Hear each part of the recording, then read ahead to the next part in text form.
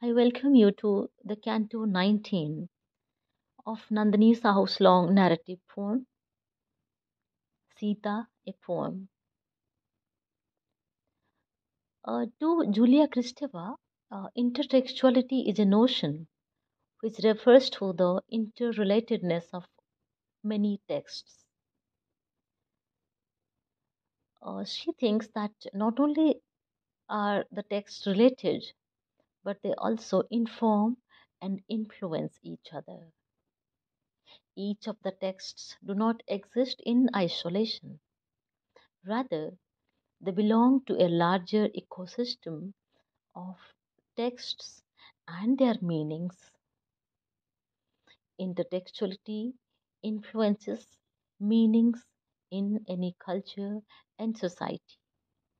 It provides the scope for new interpretations of a text.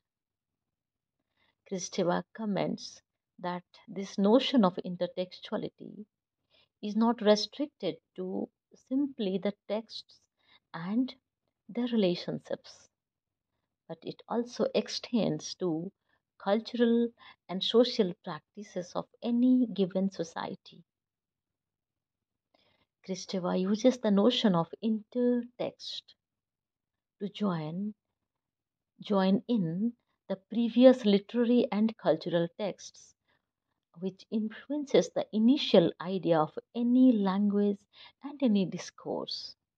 In the process intertext evolves not as simply a network of more than one text but as a dynamic and continuous process of creating new meanings, resulting in ways in which meanings can be interpreted through the production of newer texts.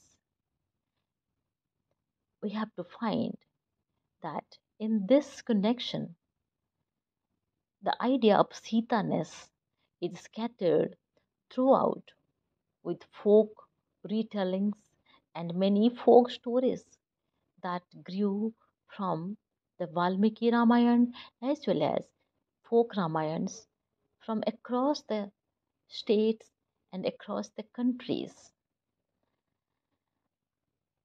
Coming to the Canto 19, uh, here I am going to quote and borrow incidents from many folk Ramayans and use the ideas of new historicism and cultural materialism. The discourse of ecology and gender in this canto gives birth to the eco-feminist Sita in my text, Sita, a poem. Now let me recite the canto 19 for you. Canto 19, Nandini Sahu's long narrative poem, Sita, a poem. Did I know then that destiny designed for me a second exile? O inheritors of light, O sacrificial fire, O virgin Mother Earth, is my pain quintessential? My Lord Ram was most reputed among his subjects. Every evening, about the countrymen, he meticulously inquired. He had empowered his citizens of free judgment. That day, his generals Bhadra, Mangala, and Kashyapa came with their daily reports of the state. From their reactions, Ram knew something was at stake. What is the matter? Why there is grim silence? I need to know the public opinion of the circumstances. I can augment beyond myself. Let it be harsh. My lord, in the marketplaces, gardens, river banks, and seashores, people praise Ramrajya openly and your destruction of the evil forces. But it's brutal in the parts of a washerman whose deserted wife came home and was seeking justice. He rejects her and says, King Ram had set this ideal once. His wife was abducted by a Rakshas who deserved her with him for one who reserved her with him for one whole year.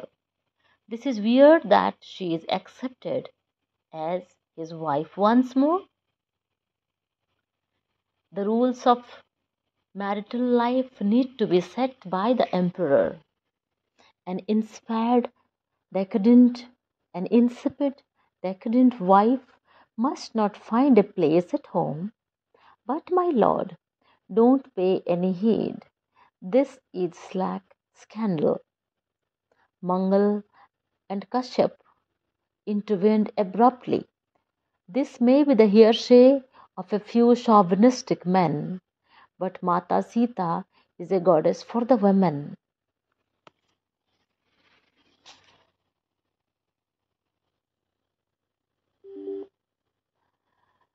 This is but an irresponsible statement.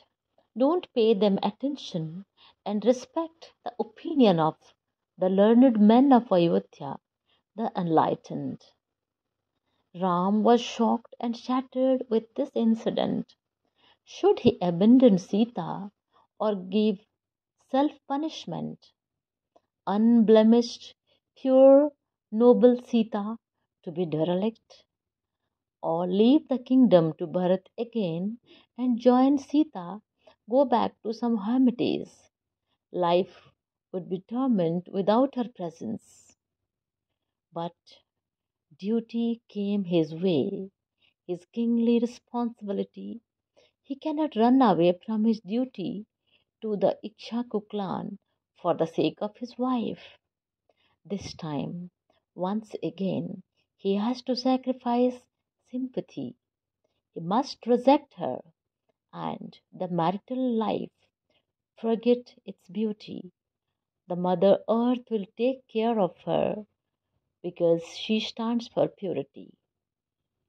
Sita cannot share the throne with him when his people do not wish her to be there. She has to leave, though he himself was trampled. He summoned his brothers and confided his wish. This vicious attitude of people was pure foolish. She has to be sent away to a hermitage far. Lakshman revolted against his brother elder.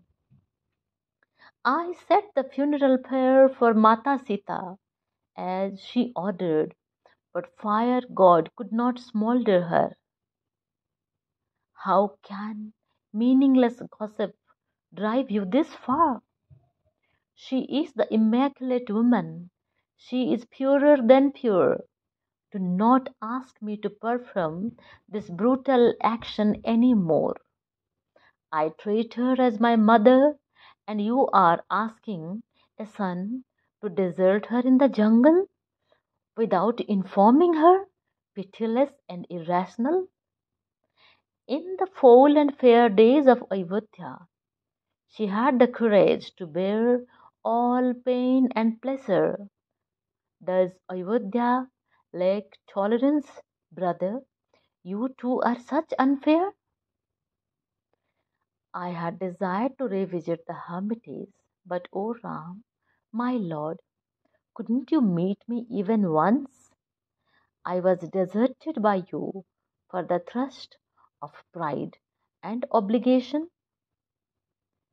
Saumitri drove the chariot most nonchalantly. The Ganga was flooded with water. See the pathetic fallacy. Lakshman fell at my feet near the Ganga. Sister in law, I am but carrying out brother's order. I should have died than being cruel to the one like my mother. He told me the truth with downcast eyes, with drops of tears.